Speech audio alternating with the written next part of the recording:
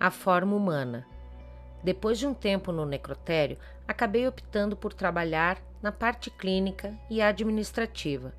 Uma das funções era digitar laudos, o que me proporcionou adquirir um bom conhecimento teórico de medicina legal. Mas sempre que precisava, eu ainda fazia necrópsias, principalmente durante o período de férias de alguns colegas. Grande parte dos cadáveres que chegavam no necrotério apresentavam boa compleição, ou seja, inteiros. Não só casos de decapitação e esquartejamento podem afetar a compleição de um cadáver, como descobri nesse dia. Era uma terça-feira e eu estava chegando para fazer meu plantão. O colega que estava saindo avisou que tinha dois cadáveres na geladeira. Não demorou muito para que viesse um funcionário de uma funerária para buscar um dos corpos. Conduzi-o até ser retirado Abri a primeira gaveta e não havia nada. Quando abri a segunda gaveta, demorei alguns segundos para entender o que estava ali. Segundo o histórico que acessei posteriormente, tratava-se de um cadáver humano, mas era impossível assim o identificar. O que havia sobre a bandeja era carne misturada com roupas, cabelo e outras matérias não identificadas. Sobre tudo isso havia um pedaço de coluna vertebral. Fechei e voltei-me ao funcionário da funerária para saber o que tinha acontecido com o cadáver que ele vinha buscar.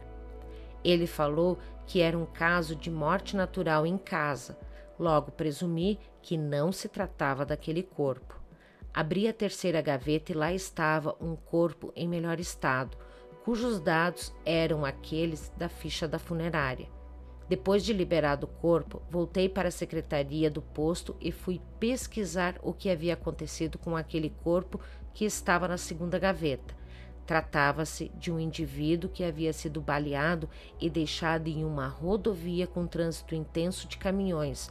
Por algum tempo achei que para chegar naquele estado seria necessário que vários caminhões atropelassem um cadáver, mas depois de estudar um pouco e ver alguns vídeos na internet, entendi que aquilo pode ser o resultado de atropelamento de apenas um caminhão, com diversos eixos e bem carregado. Outros casos em que a forma humana pode ficar irreconhecível são quando os corpos são expostos a altas temperaturas, ocorrendo o fenômeno da carbonização. Nos totalmente carbonizados, ocorrem sinais peculiares como grande redução de peso e de volume e um adulto chegando à estatura de aproximadamente 120 centímetros. O cadáver adquire a posição de pugilista em virtude da retração dos tecidos que levam os braços e as pernas a fletir-se, enquanto as mãos se fecham diante do tórax. A atitude de boxeador que o totalmente carbonizado assume também é devido ao opistótono e à hiperextensão da cabeça sobre o pescoço, pela retração dos músculos da nuca, da goteira vertebral e da região lombar. A boca fica entreaberta, deixando à mostra os dentes.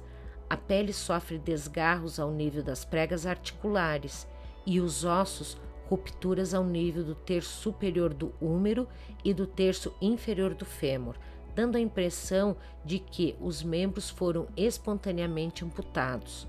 O crânio literalmente estala em múltiplas fraturas, por onde exterioriza-se massa encefálica herniada, com produção de extensas fendas no couro cabeludo. As cavidades abdominal e torácica e o períneo algumas vezes fendem-se na linha mediana pela expansão violenta dos gases que se formam sob a ação do calor, no interior do corpo. A pele protegida pelas vestes podia não ser afetada. A que não permanece íntegra é negra e seca. Os dentes podem fender-se e algumas vezes calcinam. Os cristalinos opacificam-se a modo de cataratas. As glândulas suprarrenais hipertrofiam e apresentam áreas de infarto hemorrágico. O fígado necrosa o cérebro mostra-se congesto e as serosas e as mucosas equimosadas.